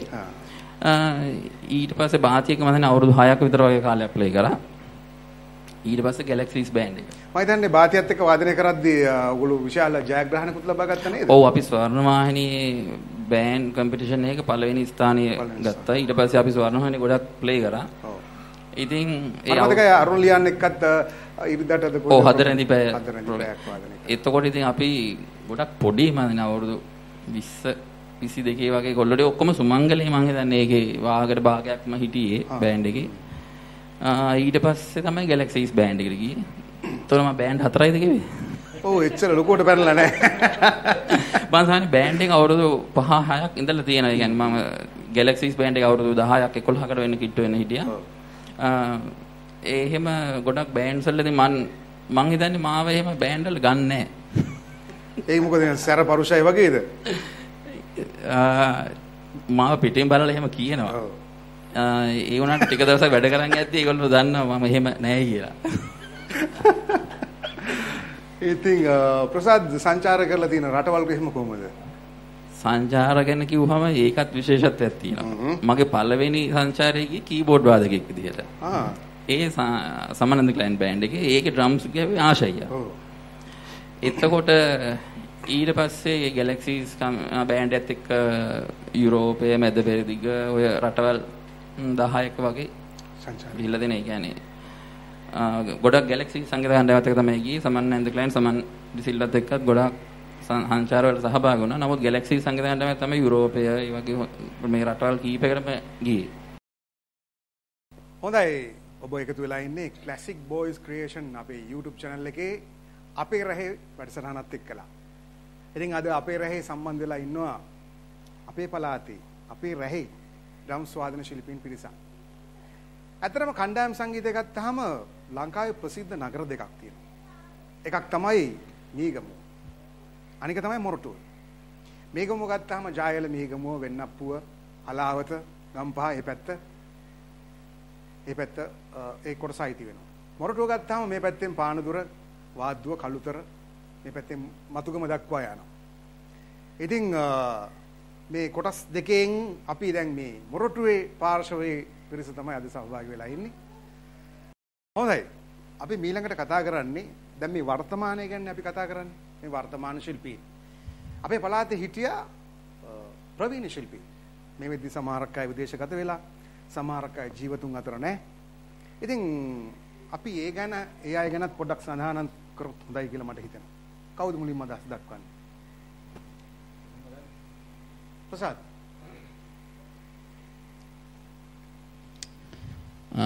මං ඉස්සෙල්ලත් කිව්වා ශ්‍රීකාන්ත දසනායක අයියා. ඒ ශ්‍රීකාන්ත දසනායක කියන්නේ මම මේ අර මියුසික් ෆීල්ඩ් එකේ අයියලා විතරයි නේ ඉන්නේ. අයියලා අක්කලා විතරයි ඉන්නේ. නැත්නම් ශ්‍රීකාන්ත අයියා මම මට අංකල් වෙන්න ඕනි. එතකොට අපේ ජූඩ් අයියා විශේෂයෙන් මතක් කරන්න ඕනේ. ඒ කියන්නේ ජූඩ් ඇමේරියන්ස් බෑන්ඩ් එකේ ප්ලේ කරපු ජූඩ් අයියා. ජූඩ් ෆර්නෑන්ඩෝ. ජූඩ් ෆර්නෑන්ඩෝ. දැන් මම දන්නේ ඕස්ට්‍රේලියාවේ. ඕස්ට්‍රේලියාවේ ඉන්නේ. ඔව්. එතකොට ඒ වගේම තමයි සමන්ත කණ්ඩම්බි ඒ කියන්නේ යා ඩ්‍රමර් නෙමෙයි වුණාට මම හිතන්නේ පානදුරේ මියුසික් පතුරන්න වපුරන්න උදව් වෙච්ච කෙනෙක් තමයි මේ චන්- චන්දනයිලා ආශයලා යුරාජ් ඒ කට්ටියම සමන්ත අයියාගේ ගෝලයෝ විදිහට තමයි මම හිතන්නේ එන්නේ එතකොට මැෂි මහින්දික අයියා එතකොට ඉන්දික අයියවත් මතක් කරනවනේ යත් ඒ කියන්නේ මොරටුව ගත්තාම ඒ එයා හොරණ එයත් මේ ඩ්‍රම්ස් පානදුරේ සංගීතේ රට ලෝකෙට ගෙනියන්න ඉමහත් දායකත්වයක් දක්වන ප්ලේයර් කෙනෙක්. ඒතකොට ජගත් අයියා මම දන්නේ අද ජගත් අයියා ජගත් කුලසිංහ. වාතිය කතා කරලා තිබ්බත් අද මොකක් හරි ප්‍රශ්න නිසා නිසා, දිනවා. එතකොට තව අපේ බණ්ඩා බණ්ඩා කියලා තමයි අපි කිට් එකට ආදරේට. කියන්නේ බණ්- බණ්ඩාර නි- නිරෝෂන් බණ්ඩාර. නිරෝෂන්. ආ, ඉතින් ඒ ඒ ප්ලේයර්ස්ලා ටික අපි මෙතන නැති අය මතක් ගන්න විශේෂයෙන්ම මේ ශ්‍රීකාන්ත යන දැන් ජීවිතුන් අතර නැහැ. නමුත් මං හිතන්නේ ශ්‍රීකාන්ත දසනායි කියන්නේ මේ ලංකාවේ ඉතාමත් අති විශිෂ්ට ඔය ක්ලැරන්ස් විජේවර්ධනගේ බෑන්ඩ් එකේ පවා ප්ලේ කරපු අති විශිෂ්ට දෙවන්ත සංගීත වේදික ඩ්‍රම්ස් වාදකේ බොහොම ලස්සන හැඩකාරේ. ඕ හැඩකාරයෙක් ස්ත්‍රී ආකර්ෂණය ගොඩක් තිබිච්ච කෙනෙක්. ඔව්, ඔය එතකොට මේ ඉන්දියන් නළුවෙක් වගේ තමයි කියලා තමයි කියන්නේ. ඉතින් එයා මම හිතන්නේ භාතිකෙත් බොහොම හිතවත් එයා. භාතික භාතිකෙත් එක්ක බොහොම හිතවත්. ඒ අය විශේෂයෙන් මතක් කරන්න ඕනි. තව කවුරු හරි ඉන්නවද ඒ වගේ මතක් කරන්න අපිට? එහෙමයි දැන් මාව අයිති වෙන්නේ දැන් පානදුරු නර මගේ ගම ඇවිල්ලා කඩවතනේ කඩවත. කඩවත මම ගොඩක් එතකොට හයිවේ එක තිබුණේ නැද්ද ඒ කාලේ? නෑ හයිවේ නෑ එතකොට මම ගොඩක් ගැවසුනේ මීගමුව හලාවත ඔය- ටිකේ තමයි ඒ හරහා තමයි ලූෂන් අයවත් සම්බන්ධ වෙන්නේ. රෝෂණ අයියා සම්බන්ධ වුණා ඒතර මහින්ද අයියා මහින්ද සිල්වා. සම්පූර්ණ නම කියනවනම් හොඳයි. මොකද නැත්තම් සමහර අලුත් ළමයි දන්නේ නැහැ. ඔව්. මහින්ද සිල්වා ලූෂන් අලහකෝන්, ලූෂන් අලහගෝන් අ, එතකොට රොෂාන් පෙරේරා ප්‍රශාන්ත් පෙරේරා. ඒගොල්ලෝ අපිට වැඩිය ප්‍රවීණ. ප්‍රවීණ කට්ටියනේ ප්‍රවීණ තමයි මතක් කරන්නේ මේකේ හිටපු පරණ අය ගැන. එතකොට ඒෂන් ෆර්නෑන්ඩෝ ඒෂන් ෆර්නෑන්ඩෝ. ආ. සියක් එහෙම වාදනය කරපු එක්කෙනා අර කොණ්ඩේ හොලේ. ඒෂන් ගැන. ගහපු එක්කන තමයි ඒෂන් ආ. සියක් ප්ලේ කරපු එක්කන තමයි හේෂාන් ඩි ඒෂාන්, ඒෂාන් ඩි සිල්වා. ওই නම් දෙක පැටලෙනවා. ඔව්. ඉතින් ඒගොල්ලෝ තමයි මම ආපු කාලේ හිටපු ප්‍රවීණයෝ. ප්‍රවීණයෝ ඒගොල්ලෝ වේදිකාවේ කරපු මේ දස්- දස්කම් තමයි අපි අපිට ගැම්මක් ආවේ ඒව දැකලා තමයි ඒක හරිය. ඒක මම ගොඩාක්ම ලූෂන් අලාකෝන්ගේ පස්සෙන්ම තමයි ගියේ ආ. ඒ කියන්නේ ඒකේ මම දැක්ක විශේෂයක් පොඩ්ඩක් අර ලොකු ෂෝ එකක් එයා එයා වෙනම ෂෝ එකක් මම ඒක ඒ කියන්නේ ප්‍රසාංගික ප්‍රසාංගිකව ඉදිරිපත් කිරීම. වාදනය විතරක් නෙමෙයි. විශේෂයෙන්ම මොරටුවේ නිරේෂ් නිරේෂ් කියන ජිප්සීස් ගහපු නිරේෂ් අයියා නිරේෂ් අයියා. මාරටම කියන ඉස්සරම එයාගේ සියක් හා සියක් ගහන කල අපි ගොඩක් පොඩි අපි ෂෝ බලන්න යන එයා තමයි රෝටාස් කියන එකෙන් ගොඩාක්ම ප්‍රයෝජන ගත්තේ. එයා ගහන ගහිල්ල මාරම එකක්. ජිප්සීස් ගැහුවා මං හිතන්නේ අවුරුදු 15කට වැඩි ඔව්. මම බලලා තිනවා 92 එයා වගේ ඒකට මම මෙහෙම නිදාශක නිරංජන අයියා. නිරංජන ඩයිනමයිට් ගහපු ක්‍රම ඒත් මම හිතනවා ඔයාට තින්න කවුරු හරි කියන්න අපේ තව ප්‍රවීණෙක් ඉන්න හොරන නිරේෂ් අයියා ගැන කිව්වොත් අර අපි කියන්නේ මෙට්‍රොනෝම් එක. හා ටෙම්පෝ තිතට ටෙම්පෝ තිතටම. රෙකෝඩින් එකක් ගහන්නේ මම මම එක දවසක දැක්කා එයා ප්ලේ කරද්දි මෙට්‍රොනෝම් එක ඕෆ් කරා මෙට්‍රොනෝම එක වැඩක් නැහැ. ඕෆ් ඕෆ් කරේ එයා නෙමෙයි ඔහ්. වැරදීමකින් මොකක් හරි වෙලා මම හිතන්නේ දයානන්ද පෙරේරා තමයි එදා මේ හිටියේ පටිගත කිරීම. ඔගි ශබ්දාගාරේ මොනවා හරි වෙලා මේ වෙලා ඒක දැන් ආයි ගහන්න කියලා කිව්වහම අරක ටිකක් දාලා බැලුවා රිප්ලේ කරලා බලුවම. අරකෙම තියෙනවා. ඒ මෙට්‍රොනෝම් එකේම ටෙම්පෝ වෙනස් වෙලා. සමෙටම ඒ නිරේෂ් අයියාගේ ඒක තියෙනවා හරි අගය කර යුතු දෙයක් අනිවාර්යයෙන්. එතකොට චින්තක ඔබටත් තියෙනවා යම් කිසි අදහසක් දක්වන්න. ඔව් කලින් කියන්න බැරුණා මගේ මුල්ම ගුරුවරයා මේ ප්‍රසාද් අයියා. ඒතකොට අනිත් මෙතන ඉන්න අය ඔක්කොගෙම මම ඉගෙනගෙන තියෙනවා. තව කියන කියන්න ඕනේ අපේ කපිල කොළඹගේස බණ්ඩාරගම ප්‍රදේශයේ ඉන්නේ. අ, ගෝනපොළ ඉන්නේ. ඔව්. ඔව්, කුඹුග ප්‍රදේශයේ. ඒ සර් හරහා තමයි මම හිතන්නේ මේ පළාති ගොඩක් කට්ටිය ඩ්‍රම්ස් එක්සැමිනේෂන්ස් කරන්නේ. මම හිතන්නේ නාවික හමුදා සංගීත නාවික හමුදා සංගීත කණ්ඩායමේ හිටපු ශිල්පියෙක්. කපිල කොණබගේ කියන්නේ එතකොට ඩ්‍රම්ස් විතරක් නෙමෙයි ගැට බෙර යක් ඔක්කොම. තබ්ලා කොංග බොංගෝ ඕන එකක් ගහන්න දක්ෂයෙක් මම හිතන්නේ චන්දන අයියත් අ, සර්ගේ ගෝලෙක් ආ වෙන්න පුළුවන්. එතකොට මම හිතන්නේ අර වෙස් හින්දිගයි අපේ මැෂිම. හින්දිගයි වෙස්ටර්න් නොටේෂන් ක්‍රමයට කාලයක් මම හිතන්නේ මේරියන්ස් සුභාෂ් අයියත් අ, ඉගෙනගෙන තියෙනවා.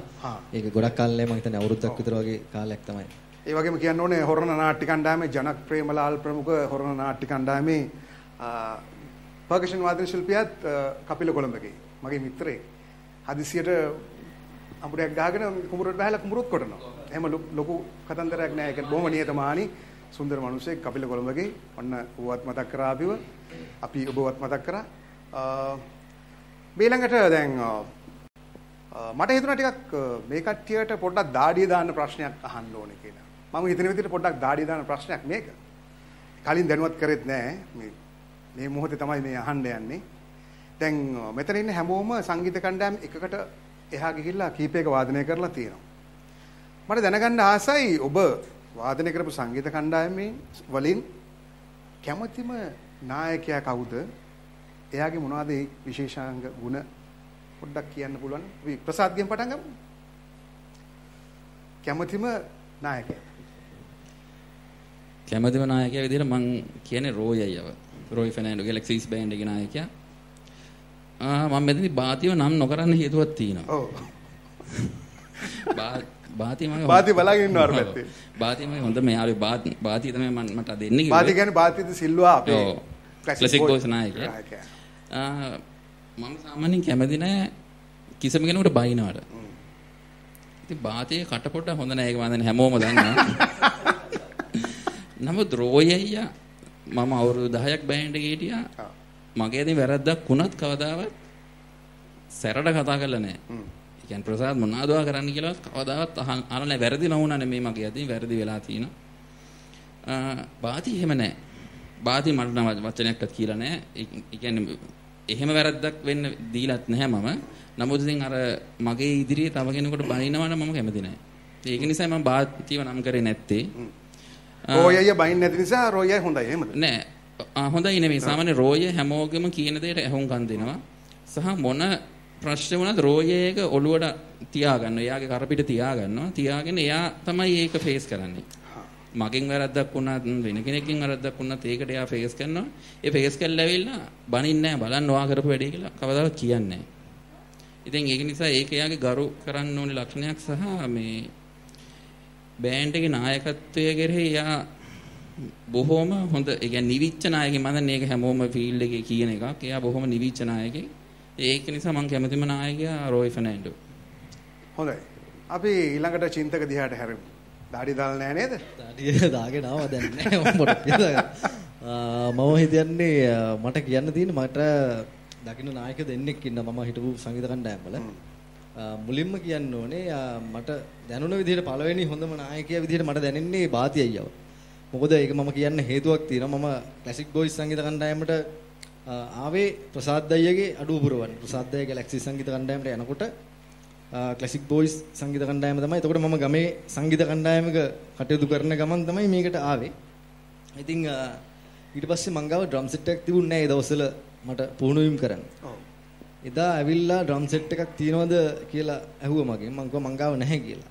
මට පොඩි වචනයක් කිව්වා. ඒ වචනෙත් එක්ක ඩ්‍රම් සෙට් එකත් ගෙදරටම ආවා ලොරියෙම්ම. ඒ කියන්නේ බාති අයියාගේ ඩ්‍රම් සෙට් එක ගෙදරටම ගෙනත් දැම්මා මගේ හරි සැර විදිහට බැන්නද? නෑ නෑ පොඩි එකක් දුන්නා. එතනින් පස්සේ ඔව් ප්‍රංශ භාෂාව. එතකොට ඊළඟට කියන්න ඕනේ උදේශ් ඉන්දුල හොඳ කළමනාකරණයක් තියෙන නායකයෙක්. මම අවුරුදු ආ, හතරක් විතර වැඩ කරා මම හිතන්නේ උදේශ් එක්ක. උදේශ්ගේ සාරෝ සංගීත කණ්ඩායම ආරම්භයේ සිටම අවුරුදු හතරක් පමණ මම වාදනය කරා අයත් එක්ක. එතකොට ඒ දෙන්න තමයි මට හිතට දැනුණු නායකයෝ. නායකයෝ. අපි ආශාගේ පැත්තට හැරමු. ආශා කැමති නායකයා කවුද කියලා බලමු. මගේ නායකයා තමයි මම දැන් දැන්ට ප්ලේ කරන බෑන්ඩ් එකේ නායකයා ඇනස්ටි මාලවන. නිහතමානී හොඳ ගතිගුණ තියෙන ඒ වගේම මේ ශේෂ්ඨයේ දෙවන්තයෙක්නේ. ඔව්. හැබැයි ඒ දෙවන්තකම ඒ නිහතමානී නිහතමානීකම ඒක ඒ විදිහටම එයාගේ තියෙනවා. අර ප්‍රසාද් කිව්වා වගේ මේ කවදාවත් දැන් මම දැන් බෑන්ඩ් එකේ අවුරුදු 12ක් වෙනවා බෑන්ඩ් එකේ. මේ වෙනකන් තාම වචනයක් කියලා කිසි දෙයක් කියලා නැහැ. ඒ වගේම තව මතක් කරන්න ඕන නායකයෙක් ඉන්නවා කීර්ති පැස්කුවල්. එයත් ඒ වගේ නායකයෙක්. හැබැයි දෙන්නගේ වෙනසක් වෙනස් තියෙනවා. තියෙනවා. මට හොඳම කෙනා තමයි අනසි මානව. ඇනස්ලි මාන මටත් පොඩි අතීතයක් තියෙනවා ඇනස්ලියාගේ සංගීත කණ්ඩායමේ එක වරක් අ, මම වාදනය කරලා තියෙනවා. නෝරේලේ පැවතුනා මොකක් හරි අ, උත්සවයක් ඒකේ එක දවසක් වාදනය කරේ ඇනස්ලියාගේ බෑන්ඩ් එක. මම හිතන්නේ ඒගොල්ලෝ ජීවිත කාලය පුරාටම ගහපු එකම ඕපන් ස්ටේජ් එකේ ඒක. මම තමයි නිවේදකයා වුණේ. ඉතින් අ, මම තමයි මම ජීවිතේට කරලා තිබුණේ නැහැ නිවේදක කටයුතු මේ සංගීත කණ්ඩායමක. එක්තරා අවස්ථාවක තිබුණා මේ ඇනස්ලියව දැන් හඳුන්වලා දෙන්න. දැන් මං කල්පනා කරනවා මට එන ලොකුම වචන මෙයාව උඩින් නගලා තියන්න මොකද්ද කියලා මට එන්නෙම නැහැ. මං ගෝ අපේ සංගීත කණ්ඩායමේ තාත්තට ආරාධනා කරනවා කියලා. ඇනස්ලියලා කවුද කොයින්ද කියලා මාරයි කියලා. හොඳයි. අපි අ, ශශීගේ දිහාට හරමු. ශශී කැමති නායකයා කවුද මේ ඔයාගේ සංගීත ඉතිහාසයේදී?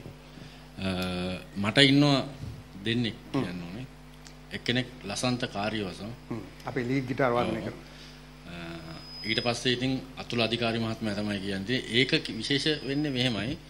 මම ওই ප්‍රොමිසස් කණ්ඩායමෙන් අයින් වෙලා ඉන්න කාලේ ගොඩක් අය හිතුවේ මම රටේ නෑ කියලා. ඔව්. විදේශගත වෙලා කියලා.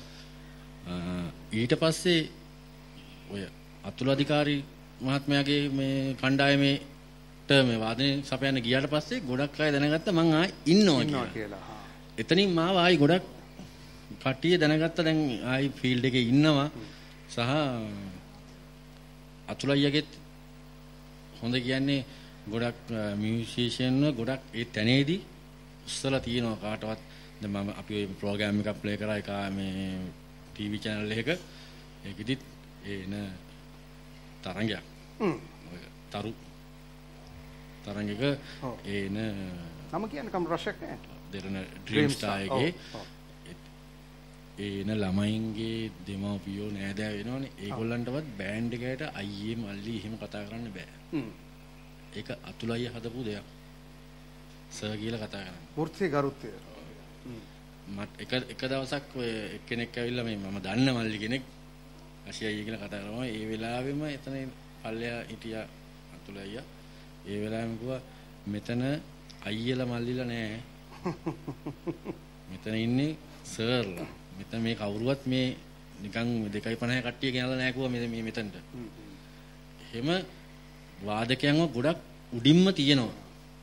සහ ඒ මං හිතන්නේ ඔය රියල්ටි ප්‍රෝග්‍රෑම් එකක මම දන්න විදිහට අදටත් වැඩිම අය කිරීමක් කරන්නේ ඔය දෙරණ ඩ්‍රීම් ස්ටාර් එක. ඒක අතුල අධිකාරී තමයි මම හිතන විදිහට ඒක ඒ ඒ ලෙවල් එක හැදුවේ. නේද? නැත්තම් අපි මේ වාදකයෙකුට එච්චර ලොකු ඉහළ මේ ගෙවීමක් කරේ නෑ කිසිම ආයතනයක. ඒ- ඉතින් කොච්චර අපි මොන දේ කියාගෙන මොන මොන මොන මනුස්සකම් අරමෝ කියාගෙන ආවත් අන්තිමට අර මුදල් කියන තැනට එනවා කොහොම කරත් කවුරුත් එනවා. ඔතනින් ඒකනේ වැදගත්ම කොටස. ඔතනින් ඔය දෙදරීම් පටන් ගන්නේ. නාට්‍ය දුක්ගම සීන් එක වෙන්නේ ඒක තමයි. ඉතින් ඒව හරියට වෙනවා. ඒව හරියට වෙනවා. ඒ ඒ අර අතුල අධිකාරී මහත්මයා හදපු ලෙවල් එක. ටිකක් කේන්දිත් යනවා හිටපු ගමන් නේද? ඔව්. හැබැයි ඒ කේන්තිය ස්ටේජ් එකෙන් ඒ කියන්නේ ඒ මේ ඒ වෙලාවෙන් බහැපු ගමන් ඒක නෑ. ඒ කියන්නේ අර ඒ අවස්ථාවේදී ඒ වැඩේ කරගන්න තමයි ඒක කරන්නේ. ඒක හරි. ඒක හරි. ඉතින් එයාට අර අවශ්‍ය දේ ලැබුණාට පස්සේ එච්චරයි. එච්චරයි. ඊට පස්සේ පල්ලෙම හසිය වරෙන් කියලා කතා කරනත් යනවා අපි මේ ඒ වගේ හැබැයි ඉතින් හරි සොඳුරු කාලයක් ඒක. ඊට පස්සෙත් දැන් ඔය දෙන ඩ්‍රීම් ස්ටාර්ගෙන් පස්සෙත් අපි හම්බුණා එක එක මේ මේ මේ මේ මේ සංගීත වැඩසටහන් වලදී හරි මිත්‍රශීලී ඉතින් අනිවාර්යයෙන්. හොඳයි අපි චන්දනගේ පැත්තට හැරෙමු. චන්දනගේ කැමතිම සංගීත කණ්ඩායම් නායකයා කවුද කියලා අහලා බලමු අපි. මෙහෙමයි මට සංගීත කණ්ඩායම් දෙකක් තියෙනවා කියන්න. කියන්නේ විශේෂයෙන්ම සමන්ත කණ්ඩායම් මහත්තයට පස්සේ මම මෙතෙන් දෙන්න මූලිකම හේතුව ඩොට් ඇන්ඩ් ඩෑෂ් කියන සංගීත කණ්ඩායම. ඒකේ නායකයෙක් කියලා හිටියේ නෑ.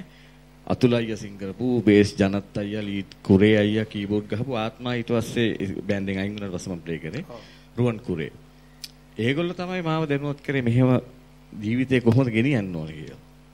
මෙහෙම ඉන්න ඕන මෙහෙම වෙන්න ඕන අර වෙන්න ඕන ප්ලේ කරද්දි මෙහෙමයි මෙහෙම හැදෙන්න ඕන කියලා ඒගොල්ලෝ තමයි මට මුලින්. ඉතින් ඉතින් මම ගොඩාක් දේවල් හදාගත්තේ. ඒ නායකත්වයෙන් තමයි මම මෙතනට එන්න මූලික හේතුව. ඊට පස්සේ ඇත්තටම කිව්වොත් ස්පීඩ් සංගීත කණ්ඩායමේ නිලංග සිල්වා. මම අවුරුදු 3ක් 3මාරක ප්ලේ කරා.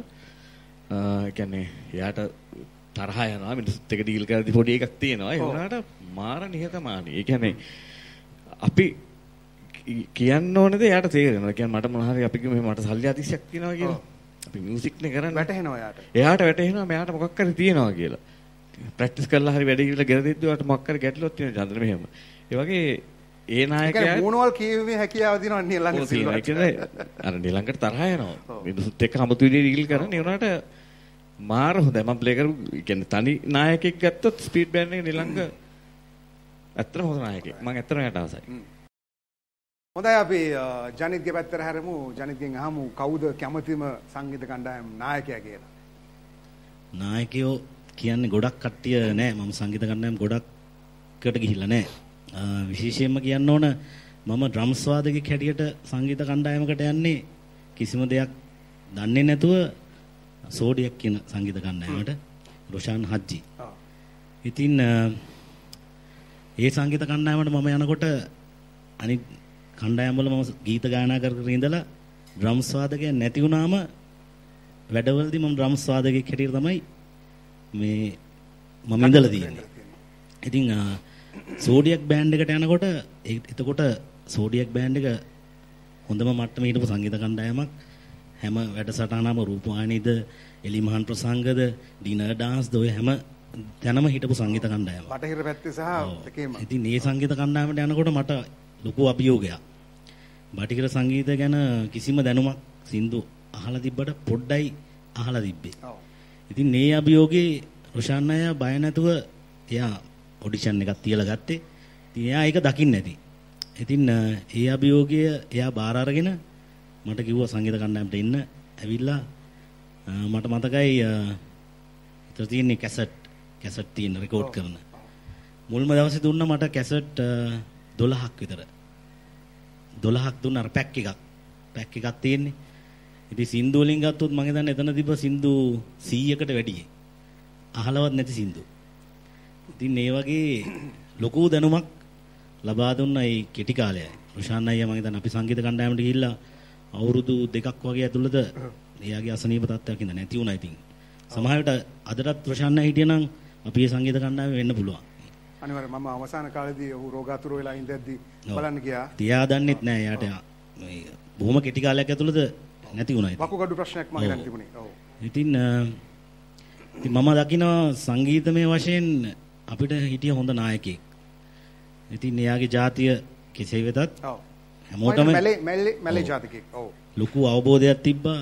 ගීත ගැනද ඉතින් සෑහෙන දෙයක් කරපු එක ඉතින් මට නායකයෙක් හැටියට ඉතින් මුල්ම කෙනා හැටියට එයා මතක් කරන්න පුළුවන් ඉතින් ඊට අමතරව රජීවෙන්ද ක්ලෑන් සංගීත කණ්ඩායමේ රජීව විශේෂයෙන් මතක් කරන්න ඕන මේ සංගීතමය වශයෙන් සෑහෙන දේවල් ටිකක් මට ලබා දුන්නා. ඒ කියන්නේ පටිගත කිරීම.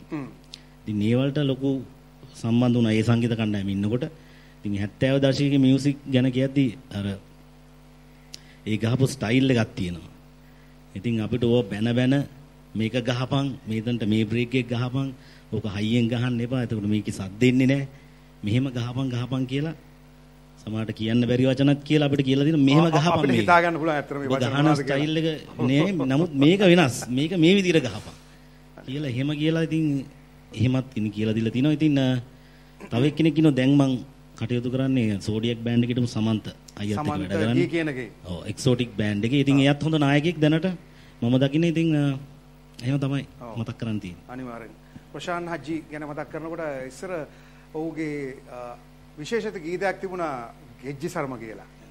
ඉතින් අමුතු සර්මක් ඇඳගෙන ඇවිල්ලා එකපාරට මේ සර්මාස්සෙන් කැසට් පටි ටොෆි වගේ දේවල් අරගෙන ජනතාව අතරට විසි කරනවා.